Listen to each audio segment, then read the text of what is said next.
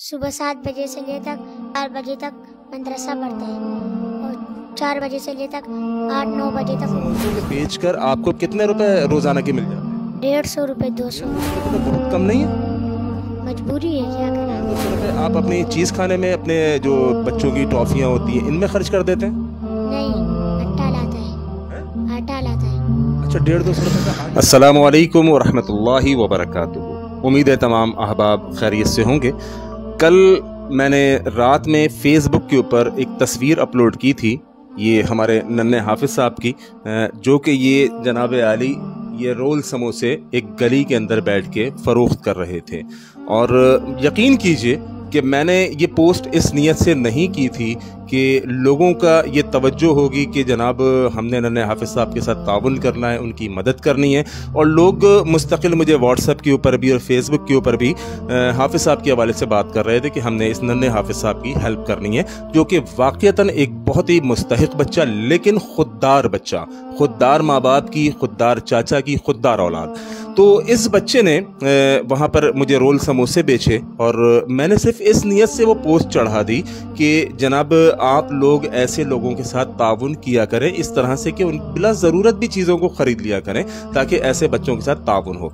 लेकिन मेरी खुशी की इंतहा ना रही जब लोगों ने मुझे कमेंट्स किए व्हाट्सएप पे भी फेसबुक के ऊपर भी, और वो पोस्ट जनाब आली मेरे यानी पेज से नहीं, बल्कि मेरी आईडी से भी इतनी ज़्यादा हिट हो गई, और लोग इस बच्चे के बारे में मुझसे पूछने लगे। हालाँकि सच्ची बात है मैं इस बच्चे को नहीं जानता था। ये तो गली के अंदर बैठ के समोसा रोल फरोख्त कर रहा था, वहाँ ये मुझको मिला।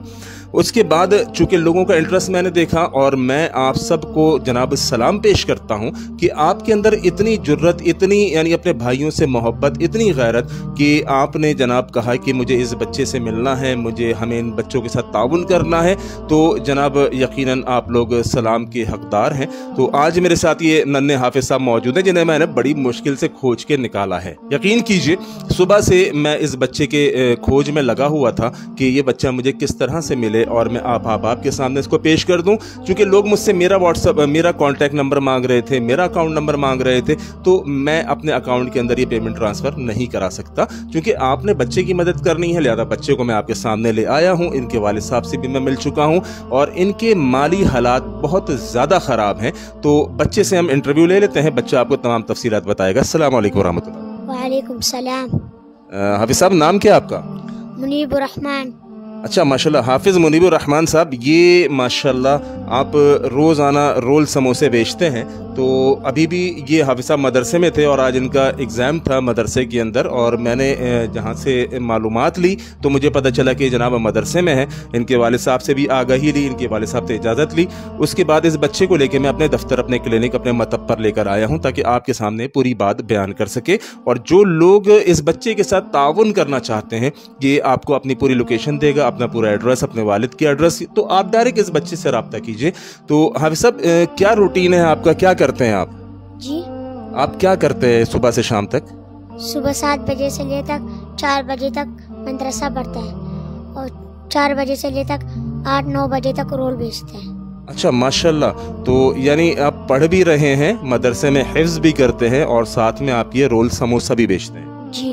अच्छा आप सब कितने अरसे से रोल समोसा बेच रहे हैं? मेरा तो चार पाँच महीने हो गया अच्छा इतनी सी उम्र के अंदर माशाल्लाह आप इतनी खुददारी के साथ कि जनाब आप पढ़ भी रहे हैं अपनी तालीम भी हासिल कर रहे हैं हिफ्ज भी करते हैं और साथ में आप ये रोल समोसे भी बेचते हैं तो इन रोल समोसों को बेचकर आपको कितने रुपए रोज़ाना के मिल जाते हैं? डेढ़ सौ रुपये दो सौ रुपये डेढ़ सौ रुपये दो सौ रुपये फ़कत डेढ़ दो सौ रुपये हाँ जी। ये आप सब डेढ़ दो सौ रुपये तो बहुत कम नहीं है? मजबूरी है क्या करें? अल्लाह अकबर सुन रहे हैं आप? ये बच्चा कहता है कि मजबूरी है क्या करें? इन हालात के अंदर ये बच्चा ये काम कर रहा है तो डेढ़ दो सौ रुपये के लिए यकीन करें। डेढ़ दो सौ रुपये तो आज कोई अहमियत नहीं रखते। तो आप साहब ये डेढ़ दो सौ रुपये आप अपनी चीज़ खाने में अपने जो बच्चों की टॉफ़ियाँ होती हैं इनमें खर्च कर देते हैं? नहीं आटा लाता है। हैं? आटा लाता है। अच्छा डेढ़ दो सौ रुपये का आटा लाते हो? अच्छा तो वालिद साहब क्या करते हैं? वो केले बेचते हैं। अच्छा तो वालिद साहब रोज़ाना केले का ठेला लगाते हैं? जी। अच्छा। कहाँ पे लगाते हैं? बनारस पे। अच्छा तो आप बता रहे थे कि वालिद साहब की तबीयत भी ख़राब रहती है? जी।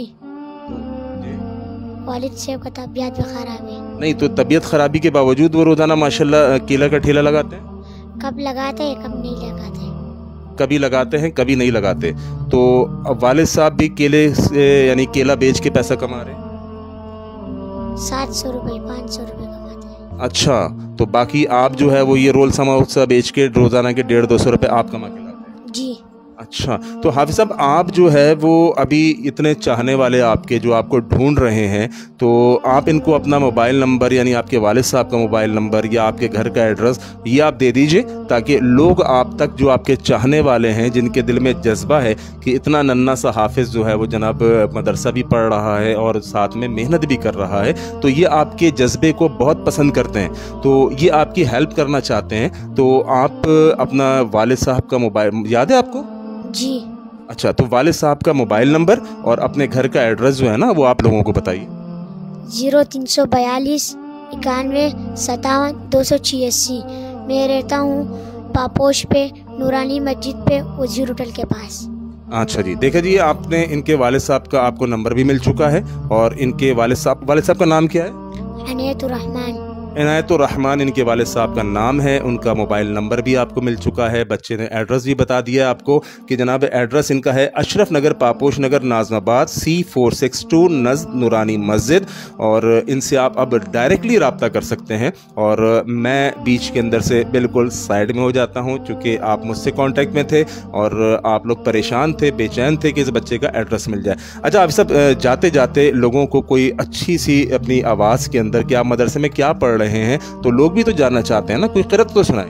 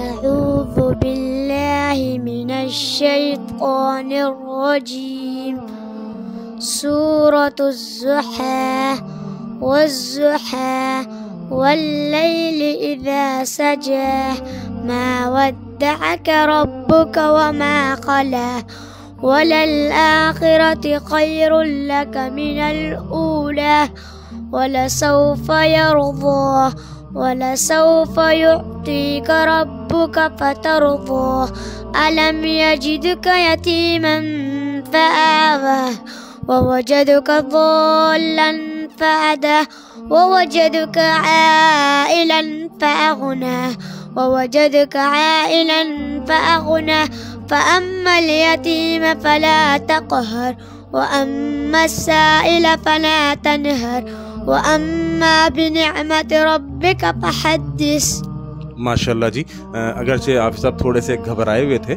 चूँकि लाजमी सी बात है कैमरे के सामने ये पहली दफ़ा आए हैं और ये आने को तैयार बिल्कुल नहीं थे।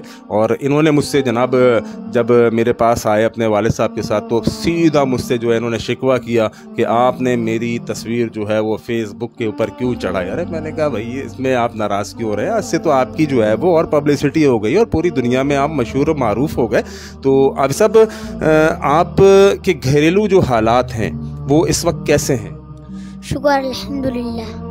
माशाल्लाह माशाल्लाह। जब इससे मेरी बात हो रही थी और मैंने इससे पूछा घरेलू हालात कैसे हैं तो इसके यही मुँह से जुमले निकले, शुक्र, अल्हम्दुलिल्लाह। तो इस पर मैं बड़ा खुश हुआ कि इस बच्चे के अंदर किसी किस्म की ना कोई लालच है, ना कोई खुद गर्जी है।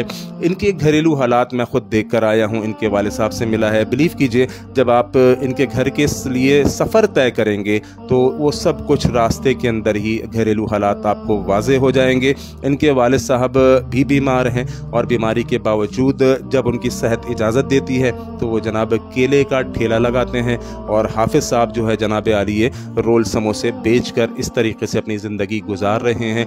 इनके घर में जो मैंने मालूम की है, मकरूज़ भी हैं, कर्ज़े के बोझ तले दबे हुए भी हैं, घरेलू हालात बिल्कुल अच्छे नहीं हैं। तो आप तमाम अहबाब जो बच्चे के साथ ताउन करना चाहते हैं, वो यकीन अपना ताउन इस बच्चे के साथ ज़रूर कीजिए। नंबर भी आपके पास आ चुका है, वालिद साहब का नाम भी आपके पास आ चुका है, एड्रेस भी आपके पास आ चुका है। अल्लाह करीम आप सबको जजाय खैर फरमाए। जजाकल्ला खैर।